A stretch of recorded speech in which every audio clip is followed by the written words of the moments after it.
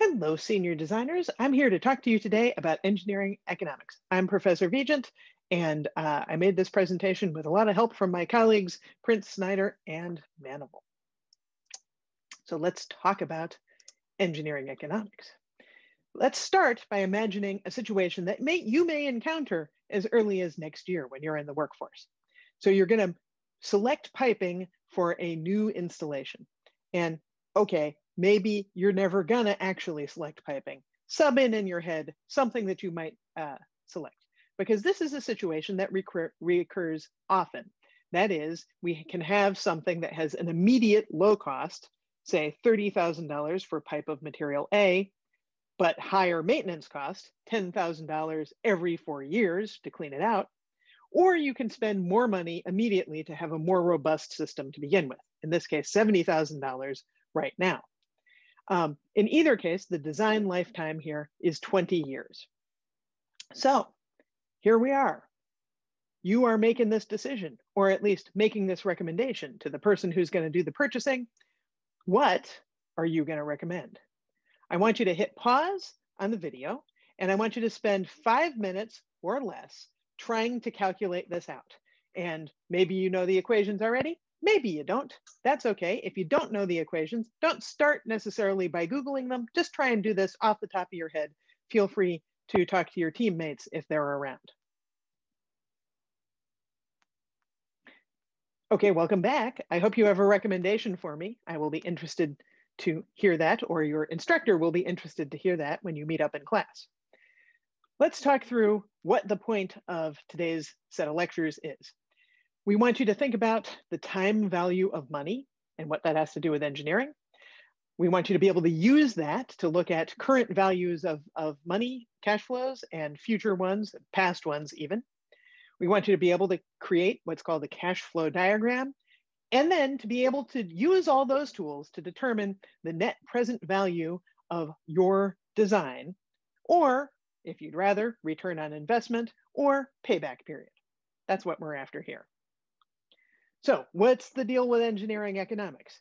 I want you to know these next 12 minutes are not going to replace you taking an actual economics course.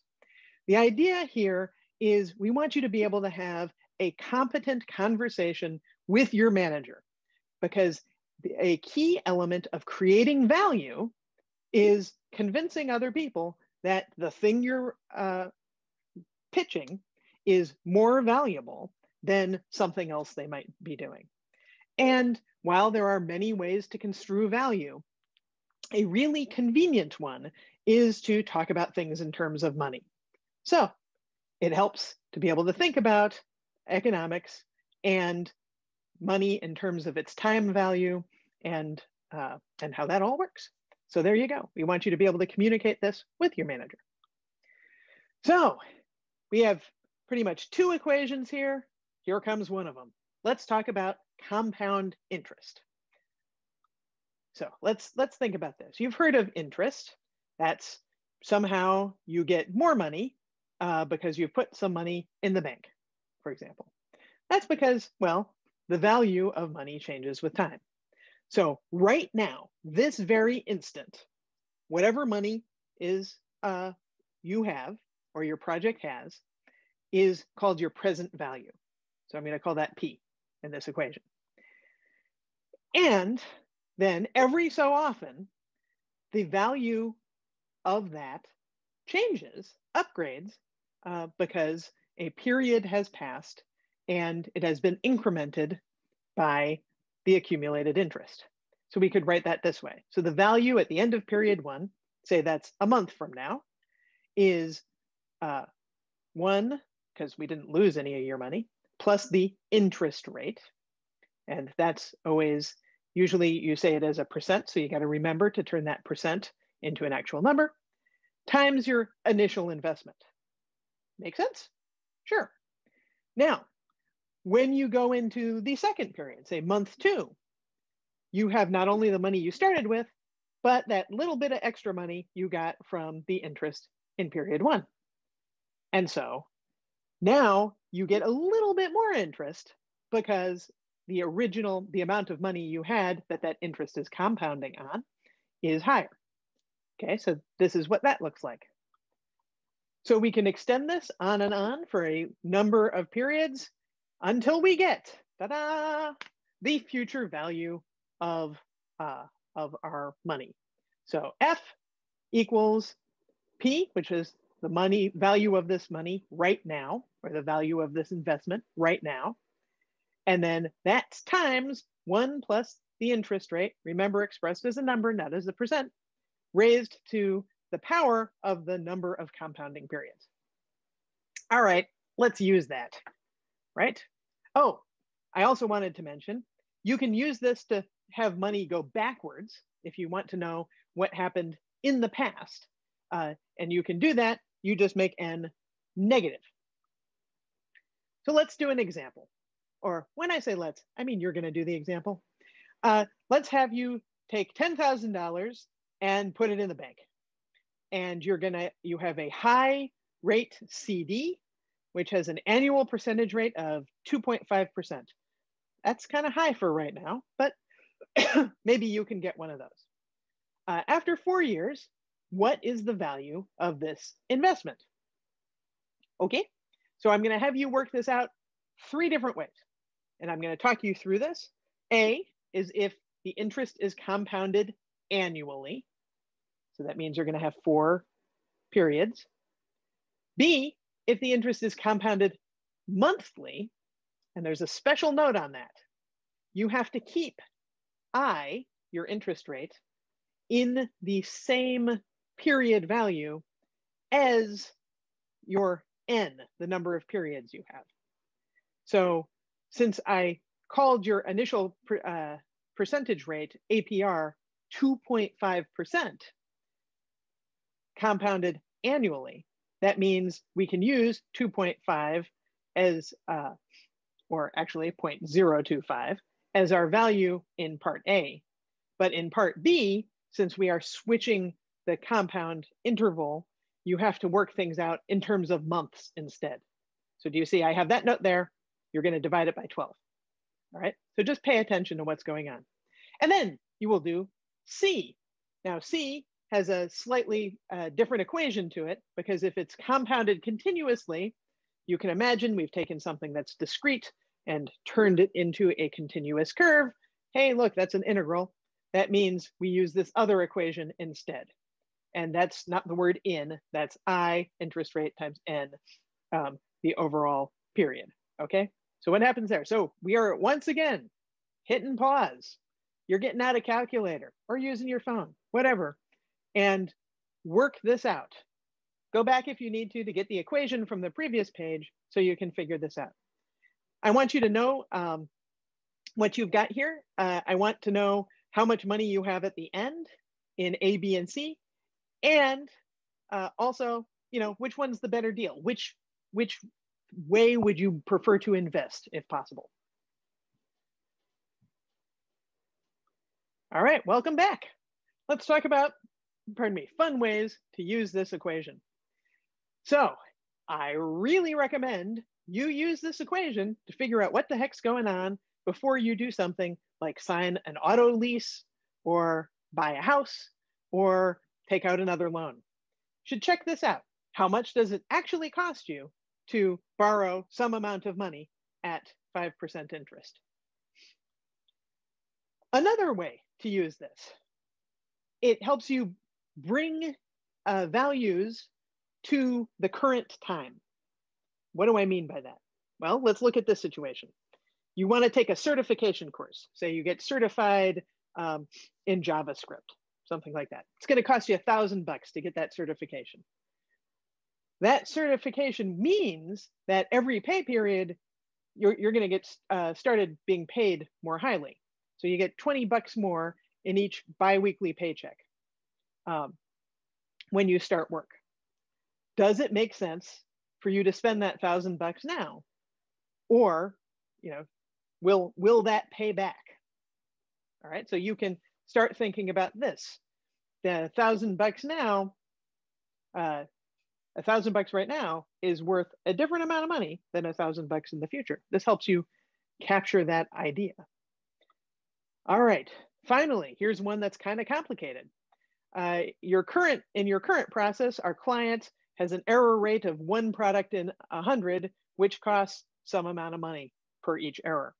With a capital investment of $50,000, they can cut that down to one error out of a thousand.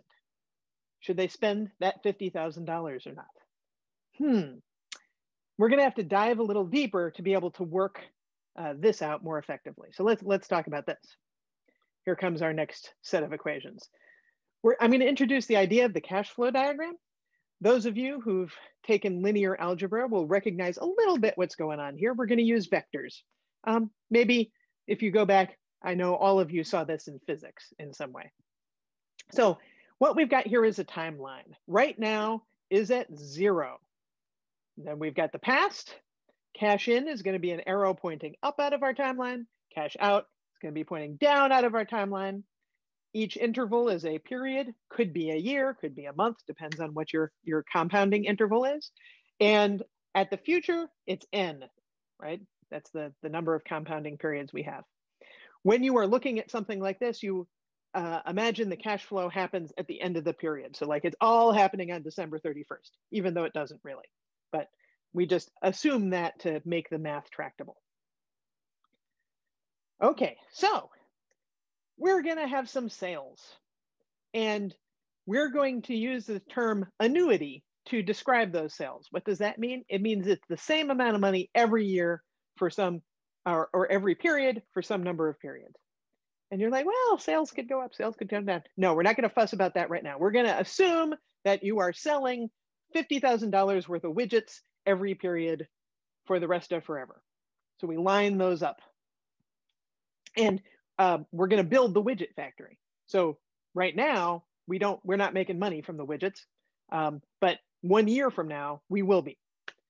Okay, then we've got an annuity in the opposite direction. We've got some operating costs. We've got to pay the people who work in the factory. We've got to pay the electricity.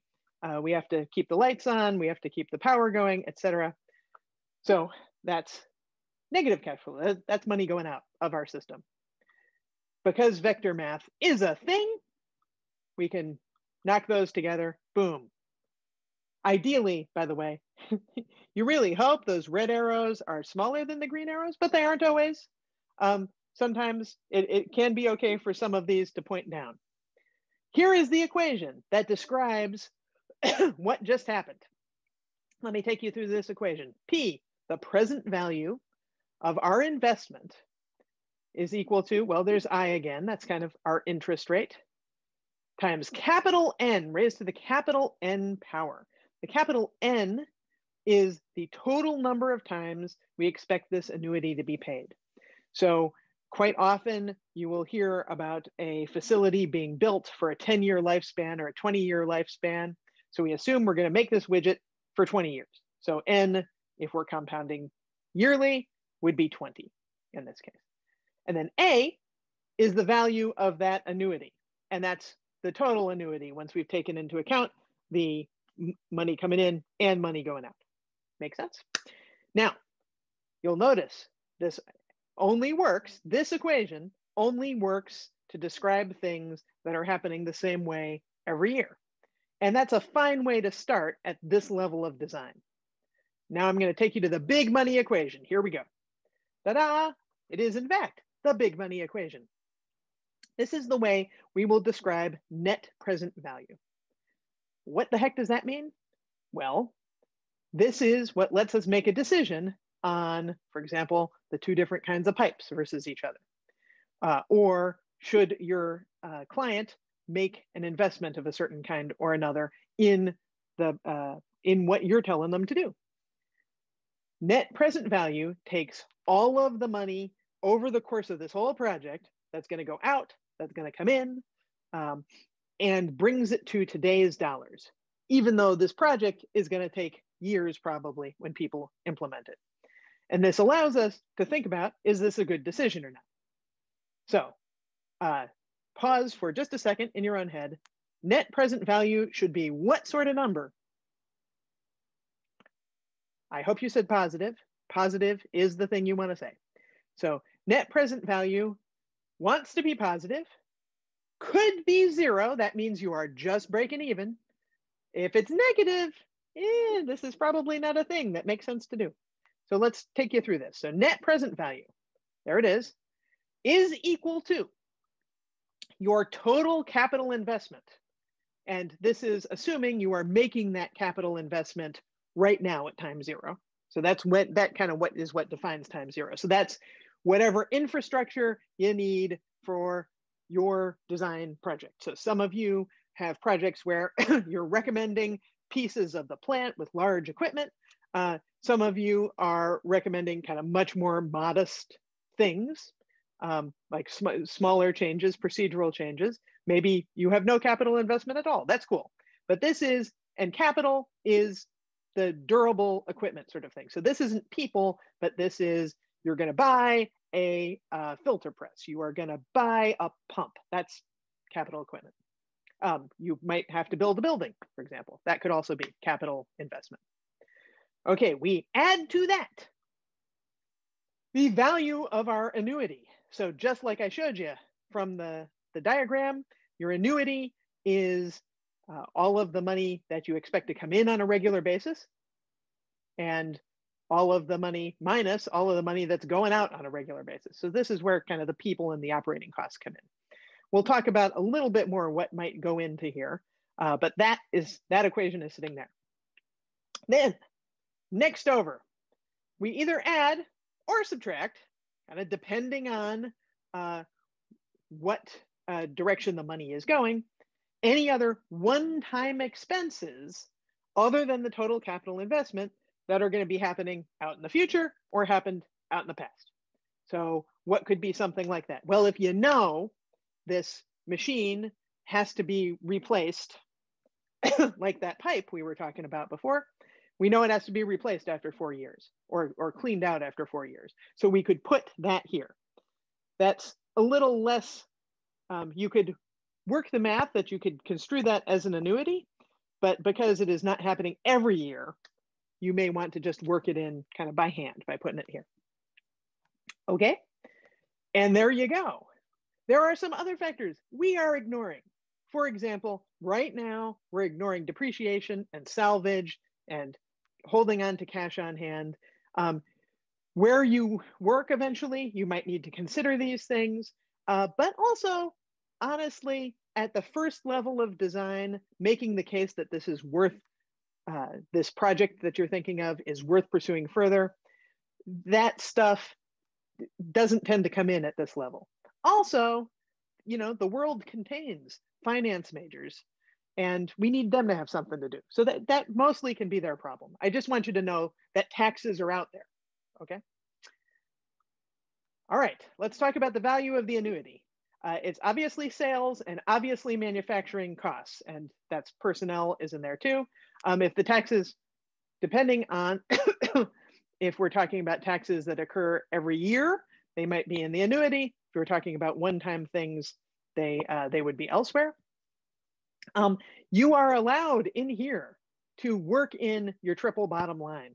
So if you've done a life cycle analysis and you want to include in your uh, uh, annuity the environmental costs or benefits of whatever it is you're doing, and you can change that into a money format, um, just because that makes things kind of easier to uh, uh, balance the costs and benefits of, please do that. You can do that here. All right. So we can work all of this in. And there you go. That's it. So you line all this up. You make sure, you know what? Oh, here's a question. Uh, you know, the rate of return. Where am I going to get that rate of return from? Well, uh, some companies will have a rate of return as policy. We expect a rate of return of this much. And so you have to use that number. Um, I'll tell you something else you can do with that later. At the very least, I ought to be uh, the rate of uh, uh, inflation. Sorry, just went out of my head. Uh, it ought to be the rate of inflation, right? Uh, because at the very least, this thing shouldn't uh, be costing more or making less money as time goes on. The little n is the project lifespan in years, and the capital N is the number of annuity payments if we have this all set up in alignment, those should both be on a yearly basis and then they'll be the same number uh, numerically. But depending on how you have set up your math, they may not be. Project lifespan, again, another thing a company will usually tell you that they want to make sure that this is at least 20 years or no, we don't care about anything more than five years out. So you can work this out and you can figure out what is the net present value of your process. And that's uh, sometimes that's what people want to hear. Other times there's um, ways of thinking about this that uh, speak more to your audience. And let's talk about a couple of those. So here's the equations again, sitting here. A, remember that's the, the size of your annuity. So a thing you could do is you could set, so this is one equation, that means we get one unknown. As initially presented, net present value is the unknown. But you could instead phrase this in terms of net present value, I'm setting it equal to zero, that's the break even point. And now my unknown is going to be A, that annuity. And that allows you to back out what must be, for example, the selling price of my product. If uh, my client has said this thing, this widget uh, has a target price of 50 bucks. And you're like, okay, well, can you pay off your uh, project as proposed in a reasonable number of years with a $50 selling price? Do you end up with a positive NPV at that selling price? What is the minimum selling price you can get away with and still break even? So that's NPV of zero, which no one actually wants, but you can set it to that. All right. So that's your break even. Um, another way of looking at this is messing with N. You know, how long is this going to go? So you may, for example, say, what is our payback period? Um, in classic examples of engineering economics, we use numbers like five years for a payback period. When I have spoken to our clients in senior design and in other classes talking to alums, I hear about payback periods more along the lines of one year, 18 months. Uh, wow, okay. So you definitely will want to know what your uh, client thinks of is a reasonable payback period. So if you change that, and again, you set the NPV to zero, that's the break even point, and you mess around with N till you see um, how long is that gotta be. Okay, so you can do all of these different things. You can also use this uh, to think about return on investment. And that would be uh, uh, comparing your NPV to that total capital investment, because that's what you, that's the big thing you put in to begin with. And the NPV is, uh, from this point standing here, what you see yourselves getting out of it. Each of these is a different way of saying pretty much the same thing. But what speaks to your client to communicate your value proposition uh, varies. And uh, if you are a team that is designing a product, uh, it's probably best to think about A, you know, changing uh, your, your sales price to see what is the minimum viable selling price for this. Uh, if you are doing something that's more uh, durable, maybe you want to look at payback period. Any of these might work for what you're doing. So here you go. Here is your try it. And this will be a, uh, an assignment written up for you. But really, you should think about it as any reasonable design. If you are ever designing anything in your career, you should be able to communicate in terms of uh, financial outcome what is uh, what is likely as a result of your project. Okay, so for your current understanding of your project, set up a spreadsheet, make spaces for those variables, and conduct a few experiments, a few models. For a given estimate of TCI, what's your payback time? What is a reasonable sales price if you want this all to pay for itself in 18 months? What's the net present value if this project runs for 20 years? And like I said, your client is probably not interested in all three of these, but they are definitely interested in at least one of them. So in conclusion, money changes its value over time. You got to know that. Compound interest, we've got an equation. Use it, love it, be its friend. Um, a constant rate annuity, we got an equation for that. And we have a way to put these things together to describe an engineering project, all right? And presenting a compelling economic case to your client is a significant part of adding value. So do it. Talk to you later.